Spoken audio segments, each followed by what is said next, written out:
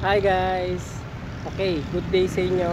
Ah, sa ngayon, ang gagawin na ang gagawin ko ngayon ay ah, mangunguha ako ng mga dahon ng mustasa at ah, i-update ko kayo regarding dun sa aking mga bagong tanim na sibuyas na tumutubo na.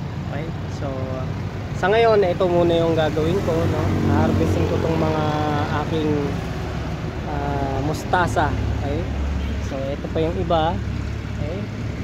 Dahil ah, nakabili kami ng ah, isda na bangos so isisigang namin kailangan namin yung mustasa. So ito naman yung iba.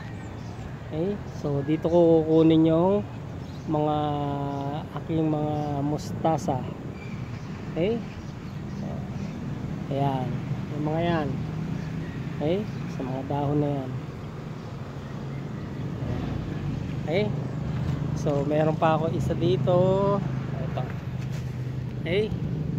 So, unahin ko na to dahil ito, ito na yung pinaka. So, unahin ko na yan. Gunting.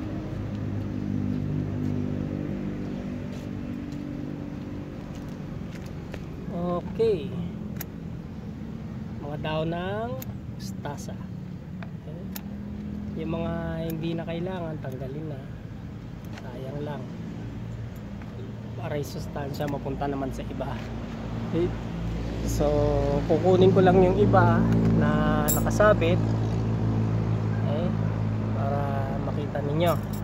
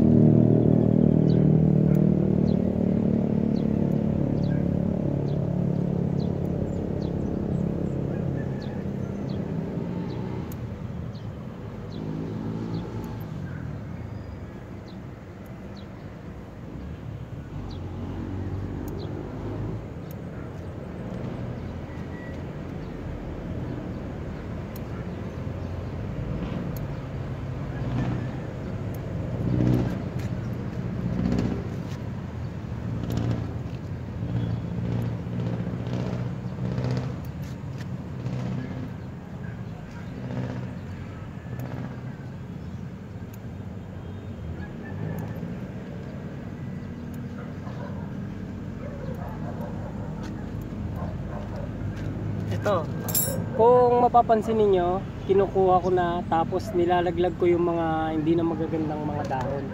At para hindi naman masayang yung sustansya na dapat na pupunta dun sa mga da, bagong dahon eh mapupunta rin sa mga luma. So inalis ko na yung mga luma yung ah, sira-sira yung medyo nagdidilaw tinatanggal ko na yun.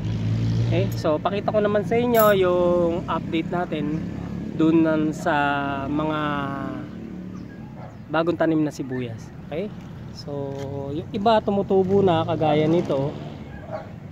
Ayan. Nagkakaroon na siya ng konting dahon. Ito naman yung iba. Okay? Ito na iba. Ito ay ah, sibuyas Tagalog. Okay? So, yan. Dumadami na. Unti-unti na silang dumadami. Okay? Nahati na sila. Okay? Ito iba. Yan yung ating update. Okay? So yan. Kahit maliit nagkakadahon na. Okay? So yan yung ating uh, update regarding dun sa mga uh, sibuyas Tagalog. Okay? So ngayon manguha naman ako ng iba nating mustasa. Okay? So dito naman tayo sa harapan. Okay, okay.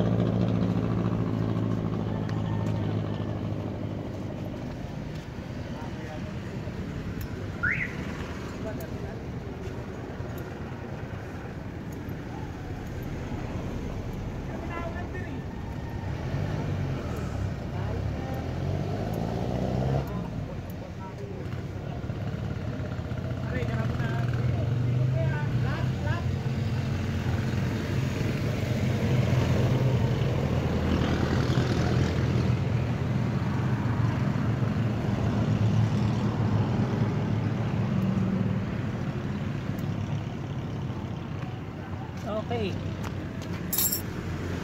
So marami na siya ngayon. Sakto na doon sa isang ah, lutuan pero okay na to. Hindi ko na kinuha yung masyadong maliliit at eh, para sa susunod meron na ulit. Okay?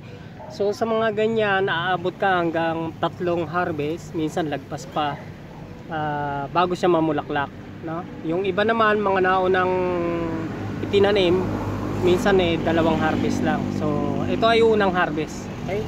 So yun. Ah, at least nakita na ninyo na mapapakinabangan yung mga itinatanim natin, no? Ah, malaking bagay din ito, nakakatipid ka na, masustansya pa, nag enjoy ka pa. Okay? So, magandang bagay na mayroon ka sariling tanim sa iyong tahanan. Okay? So, yun lang. At ah, sana ah, mag-like kayo, mag-subscribe sa akin channel, okay? So, next time na uli. Bye guys!